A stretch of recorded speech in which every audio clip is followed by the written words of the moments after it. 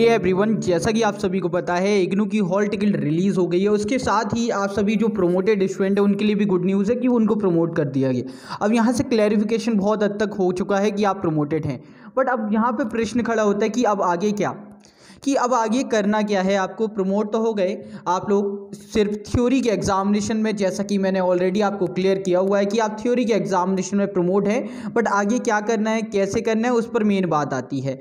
Already हम बात कर चुके हैं हॉल टिकट आपका रिलीज़ हो गया। अब यहाँ पर मेन बात क्या आती है कि अब आपके जो असाइनमेंट हैं, कौन से करने हैं, कब बनने हैं, ठीक है, कब सबमिट करने हैं। और उसके बाद में प्रैक्टिकल एग्ज़ाम कब होने हैं? ठीक है? वो सारी बातें और एक और मेन बात है आपकी बुक्स को लेकर कि बुक्स कब मिलेंगी आपको?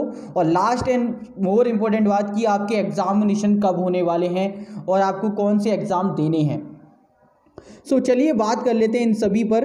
देखो पहले बात करते हैं पॉइंट टू पॉइंट पहली बात है आपके असाइनमेंट को लेकर। तो गाइज़ यहाँ पर जो आपके लेटेस्ट वाली असाइनमेंट है, जो आपका नेक्स्ट ईयर और सेमेस्टर है, उसके लिए आपको प्रिपेयर करने होंगे।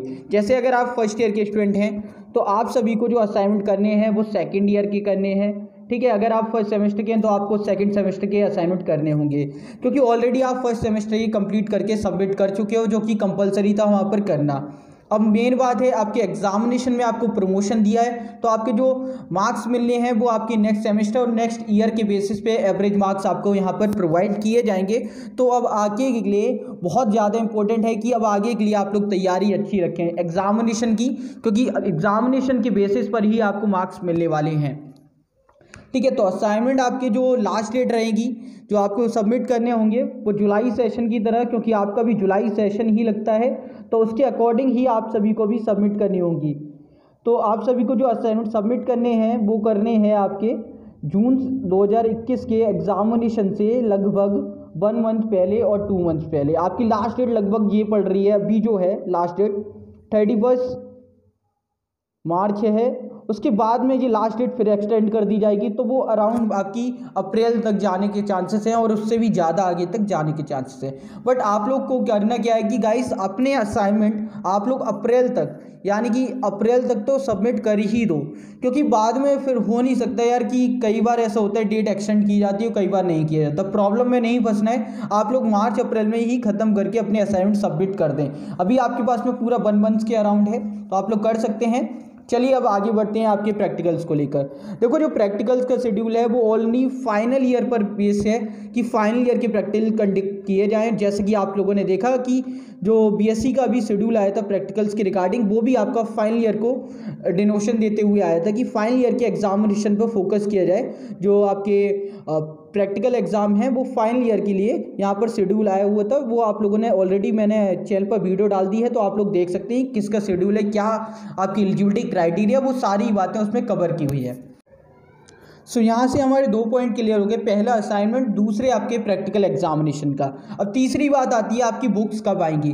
देखो बुक्स के रिगार्डिंग अभी जहाँ तक अपडेट है कि आपकी कई सारे कोर्सेज की बुक्स जो हैं अभी तक प्रिंट नहीं हुई है। और आप सभी को पता है, इग्नू इस मामले में बहुत ज़्यादा स्लो है और आपकी बुक्स आने में ज़्यादा समय भी लग सकता है। लेकिन मैं यहाँ पर एक सजेशन दूँगा उन बच्चों को जिनकी बुक्स ऑलरेडी ई ज्ञान कोर्स पर ऑनलाइन अवेलेबल हैं तो वो वहाँ से पढ़ना स्टार्ट कर दें, तैयारी स्टार्ट कर दें, ताकि आपको एग्जामिनेशन तक अच्छे से तैयारी कर लो, दिक्कत ना आए। क्योंकि इग्नू का जो प्रोसेस है, वो बहुत स्लो है। तो आप लोग करना क्या है स्टूडेंट सपोर्ट पर जाना है, यहाँ से डाउनलोड प्रोसेस पर जाना है। उसके बाद में ही यहाँ पर आपको सारी चीज़ें मिल जाएँगी। पहले आपके असाइनमेंट हैं क्वेश्चन पेपर हैं। उसके बाद में अगर आप यहाँ से डायरेक्टली सर्च करना चाहते हैं, वो भी कर सकते हैं। यहाँ पर आपको सर्च करना है सिंपली या फिर यहाँ पर सर्च करें, या आप लोग चाहें तो न्यू टैब पर खोल के गूगल पे डायरेक्टली सर्च कर सकते हैं। आपको सर्च क्या करना है वो मैं बता देता हूँ। आपको सर्च करना है ई ज्ञान कोश।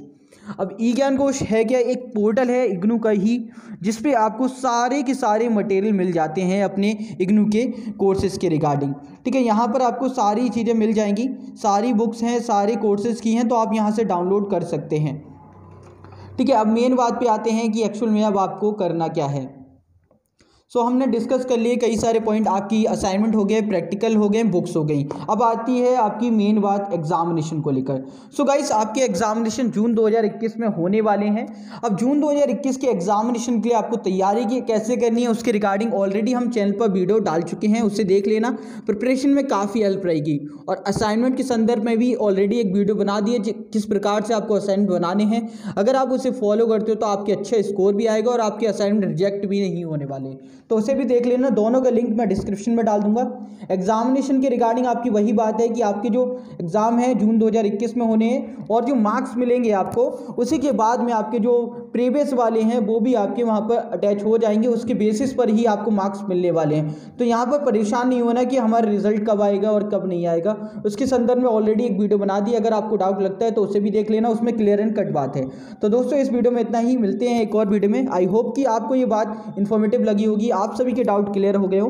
तो अब तैयारी में लग जाइए, इस वीडियो को लाइक शेयर कर दीजिए और सभी स्टूडेंट के साथ में शेयर ज़रूर कर देना। चैनल पर नए हो, चैनल को सब्सक्राइब कर लो। यहाँ पर इग्नू संदर्भ में हर एक अपडेट मिलती रहेगी। तो दोस्तों मिलते हैं एक और वीडियो में, तब तक के लिए जय हिंद, जय भारत बाय दोस्तों।